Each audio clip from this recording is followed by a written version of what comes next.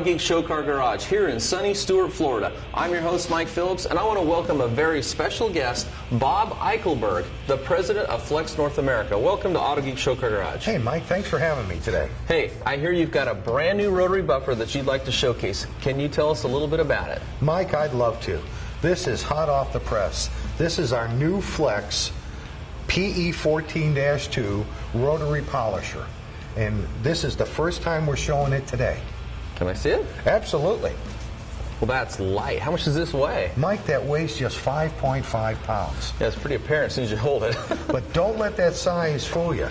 This has the power of any super strength buffer on the market today. So even though it's a compact size, it's got the power of a full size rotary buffer. Absolutely. It's got the standard industrial 5 8 coarse thread. Yep.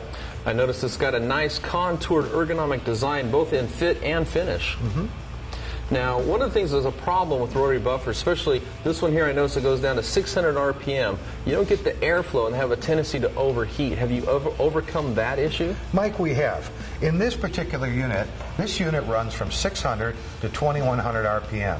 And as you can see here, look at the size of these vents, allowing that airflow to go through the fan, through the motor, cool it, and exhaust out the back end.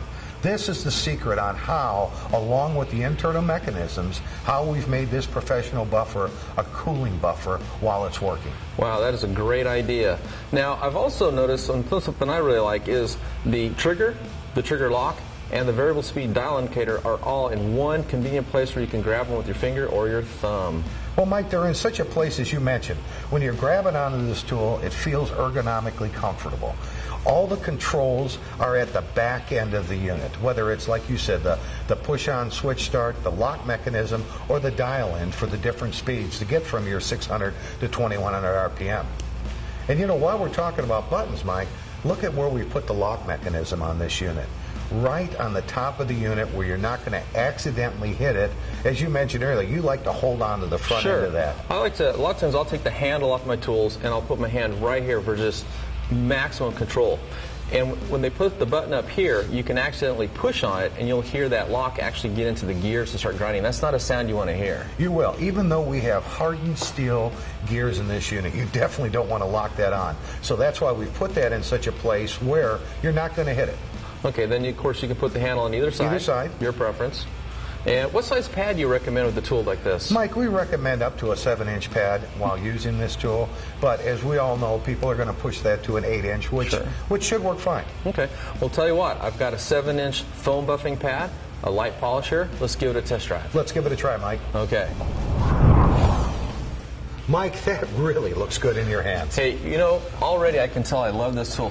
Look how light it is. I'm not even straining, and my arm is fully extended.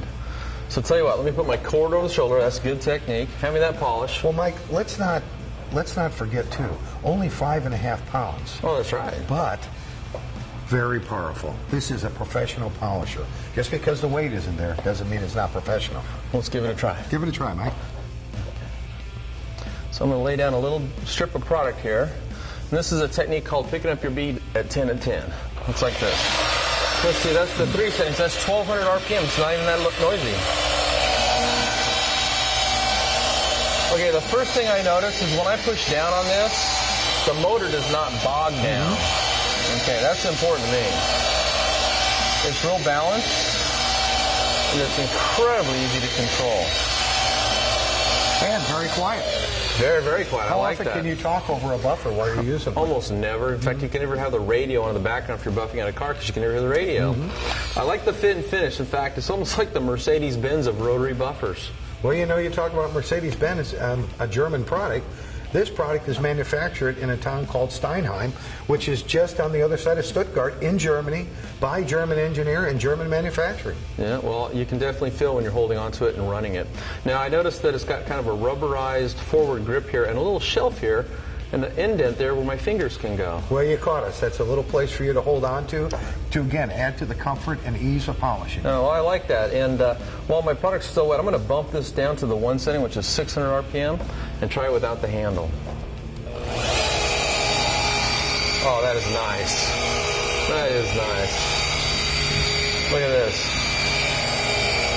You know, Mike, unlike a lot of polishers, this unit is designed to operate in the slow RPM. Yeah, well, I'll tell you one thing. That is nice. And uh, we teach a class uh, here on how to wet sand, cut, and buff, which involves using a rotary buffer.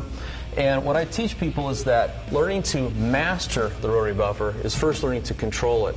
And the compact size, ease of use, this is going to be a very easy polisher for even a new person, new to using a rotary buffer, to learn how to master. Where can people get one of these? Mike, people can get this new PE 14-2 rotary buffer from Flex at autogeek.net. Hey, thank you very much. Thanks, Mike. Well, for more information, visit autogeek.net. And don't forget to swing by our fun and friendly discussion forum, where you'll find me posting new how to articles and answering questions. We'll see you again on the next edition of Autogeek Show Car Garage.